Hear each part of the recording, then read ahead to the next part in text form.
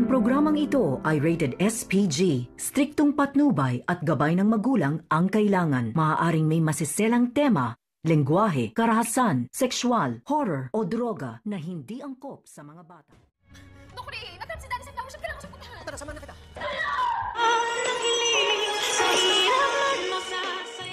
Nalaman na nga ngayon ni Zoe dito sa kanyang driver na natrap daw di umano itong si Dr. Tanyag dito nga sa flower shop.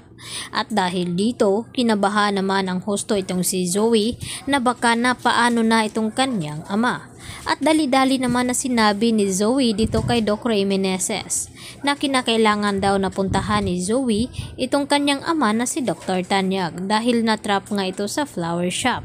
At dito naman na sinabi ni Dr. Ray Meneses kay Zoe na samahan na nga raw niya ito dahil alam niya na baka kung ano na ang nangyari dito nga kay Dr. Tanyag. At dahil dito, maaabutan ni Zoe at Doc Ray Meneses na itong si na magkasama sila din Dr. Tanyag at dahil dito, manunumbalik na naman kay Zoe ang galit dito kay Annalyn kahit iniligtas ni Annalyn ang kanyang ina ni Zoe na si Moira. At dito rin na malaman ngayon ni Lynette ang tungkol sa tunay na pagkatao ni Zoe dahil sa, mar- sa dami ng dugo na nawala ni Dr. Tanyag ay kinakailangan nga niya itong masalihan. At dahil dito, ang gustong mangyari ni Dr. Tanyag na sa street siya gustong dalhin upang nandoon itong si Annalyn. Dahil alam ni RJ na itong kamatch niya ng dugo ay walang iba kundi itong si Annalyn lamang. At dahil sa akala ni Dr. Tanyag na hindi pa alam ni Zoe na hindi niya tunay na anak dahil nung makumatos nga ito ay ang natatandaan ni Dr. Tanyag na siya lang ang may alam na hindi niya anak si Zoe. Subalit marami na nga nakaalam at isa na nga dito itong si Zoe dahil ipinagtapat na nga ni Moira ang katotohanan kung bakit nagawa niyang hilain sa hagdan itong si Dr. Tanyag dahil pinilit siya dito ni, An- ni RJ na paaminin kung sino nga ang ama ni Zoe.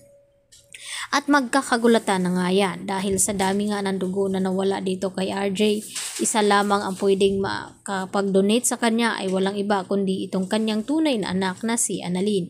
At dahil nasa bingit pa nga ng peligro itong si Annalyn ngayon, nakasalukuyan naman na iniligtas ni Doc Lyndon Javier. Dahil nagulat din sila sa balita na nandun nga itong dalawang doktor ang hindi pa lamang nakakalabas sa building na iyon. At dahil na-trap nga ito dahil nagawa nga ang iligtas ni Annalyn, ito nga ang bata na si Precious. Kaya naman, na-aksidente naman itong si Annalyn na papalabas na sana sila ng building. Dito nga nakausli itong bakal na kung saan ay natisod itong si Annalyn kaya nadaganan siya ng bato. At dahil dito nagsisigaw naman ng tulong itong si Precious upang may makarinig nga sa kanila. At dito nga nakaagaw pansin ni Doc Lyndon Javier habang kinakausap ang kanyang imahinasyon na si Emily. Ditong niya narinig ang hingi ng tulong ni Precious dahil kay Annalyn. At dali-dali naman na hinahanap ni Doc Lyndon ang boses dito ni Precious at nakita niya agad ang kalagayan ni Annalyn kaya agad naman napatakbo ito at niyakap itong si Annalyn upang hindi siya ang matamaan dito nga sa papalapit na kisame na babagsak nga sana dito kay Annalyn. At dito mismo na bumagsak kay Doc Lyndon Javier ang kisame na ito. At hindi pa nga natin tukoy kung napuruhan nga ba itong si Doc Lindon sa pagbagsak na ng kisami. Samantala, nakaligtas naman sa kapahamakan itong si Moira dahil nga sa tulong ni Annalyn.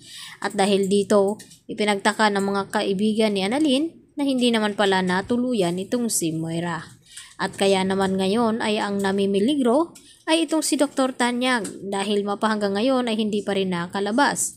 At binalikan naman ito ni Lynette. At nainis naman itong si Michael dahil sa sinabi ni Lynette kaya iniwan niya rin ito. Yan po ang ating pakatutukan bukas. Dito lamang yan sa abot kamay na pangarap.